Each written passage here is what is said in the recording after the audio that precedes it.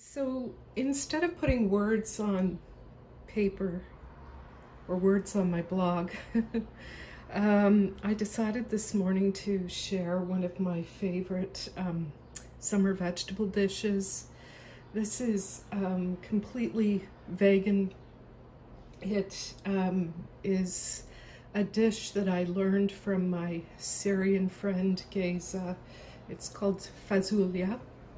It's made in many countries, um, many Arabic countries, Syria, Lebanon, um, also uh, in Turkey, and in fact, the wonderful um, Robyn Eckhardt, who wrote Istanbul and Beyond, was posting about this recipe last week, and it reminded me I needed to make it. And I like to make this and then let it sit. I love eating this at room temperature. Um, it, um, Siri, or Geza's youngest son, Mohammed, and I um, often like to eat this as a snack and we'll take off my cat and we'll take off we'll take off bits of um, pita bread and scoop it up um, and scoop it up with bits of pita bread. I'm not going to move the cat because it's just too cute. So I'm using um, uh, French beans, haricot vert, and I've just cut them up into bite-sized pieces. And um, what I really, really like, I'm using French beans because uh, Ontario beans aren't in season and what I really like making this dish with are the flat green beans. It's, um, those are my absolute favorite. So a whole lot of beans because I want to have some of this in the fridge for the week. And um, tomatoes. And what I've done is I've cut the tomatoes in half and I've used a box grater and grated down to the skin. And then I put the skin in a bowl and I've salted it and massaged it um, because there's this wonderful, very flavorful liquid that comes out of the skin. And um, that's a trick that I learned from Geza and I just, I just love it. Um, then there's green onion, sliced green onion, and lots of sliced garlic. And uh, this is ground coriander seed. And then lots of oil. And you, you cannot skimp on the oil in this dish. It there needs, fat needs to be a presence um, in the enjoyment of it. And those, that's it in terms of ingredients. Um, I'm gonna have this with roast chicken tonight.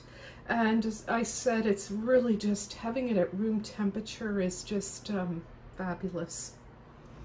Okay, so you can see, I hope you can get a sense that I have a good amount of olive oil in my pan. And I'm going to add my green onion.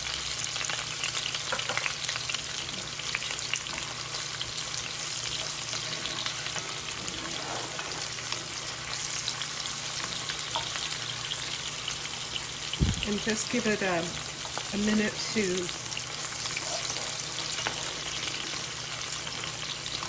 get fragrant.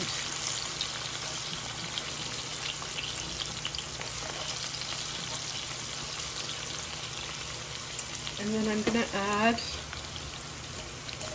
my sliced garlic.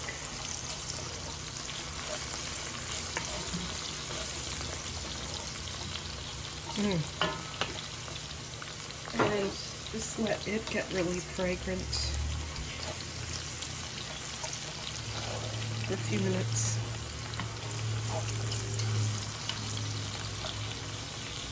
Got my heat now on sort of medium high.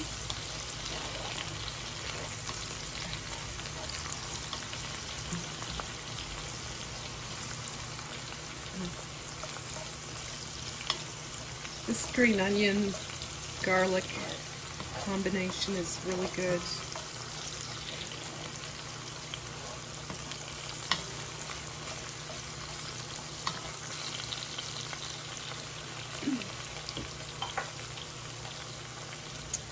And now I'm going to add my green beans.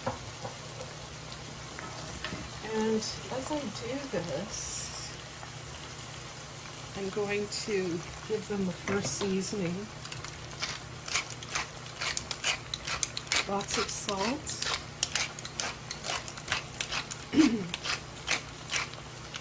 and pepper.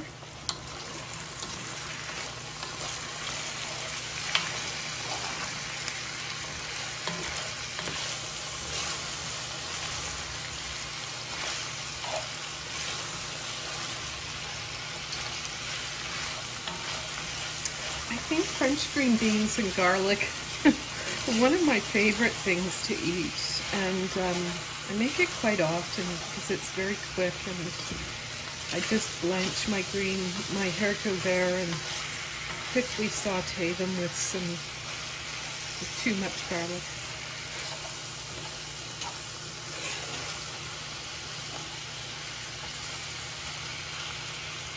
I'm just going to let that warm through for a minute.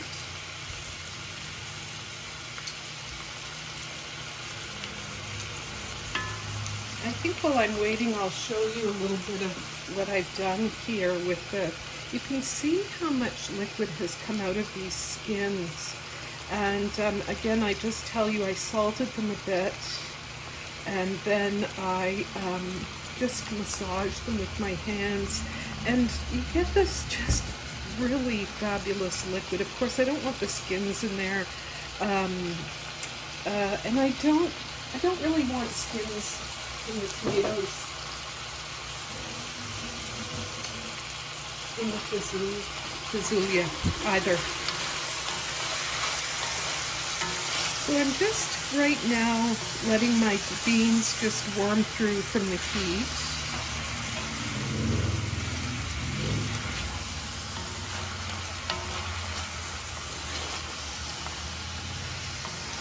And actually I can start, I can start to smell the green beans cooking.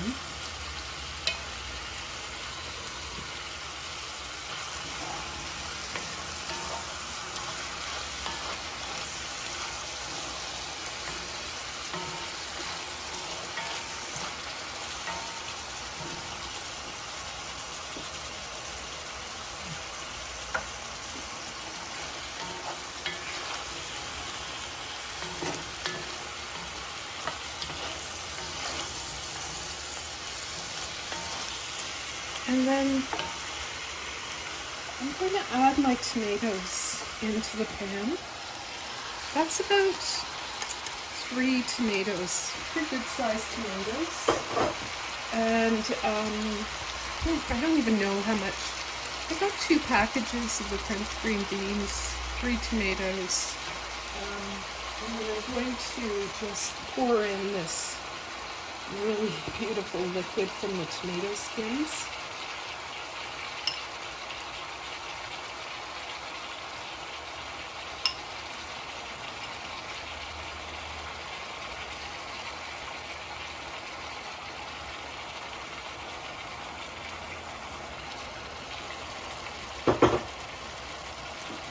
I'm going to add some coriander.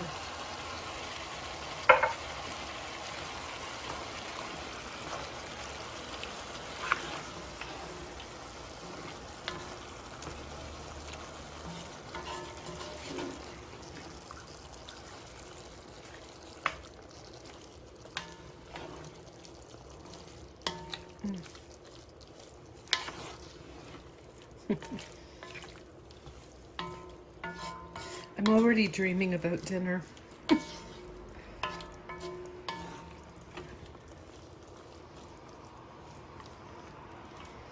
and I'm gonna let these, I'm gonna let this simmer just for a few minutes.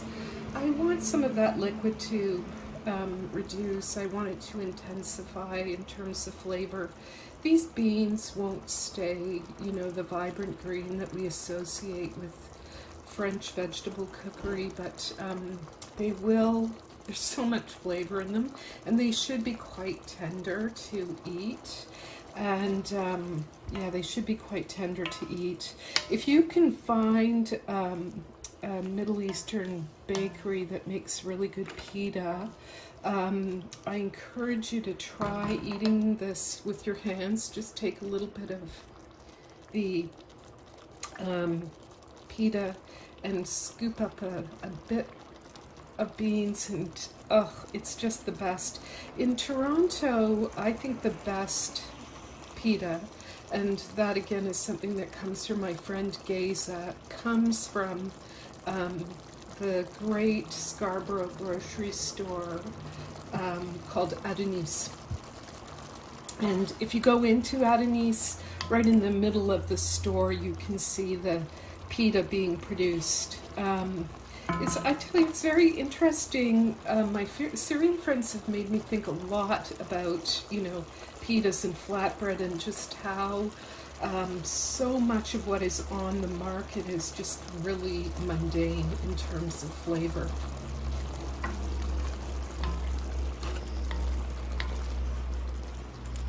I'll come back to this when it's done. Okay, so this has been cooking, I think for about 20 minutes, and you'll notice most of the liquid has, reduced. I sort of was simmering it medium-low heat for about 20 minutes. And you know, you'll notice that a lot of the liquid has reduced and um, it's good and fatty um, and they're perfect. And I'm not going to, I've seasoned them. I think they're pretty close to being perfectly seasoned. And now I am just going to let them sit and, um, and cool to room temperature.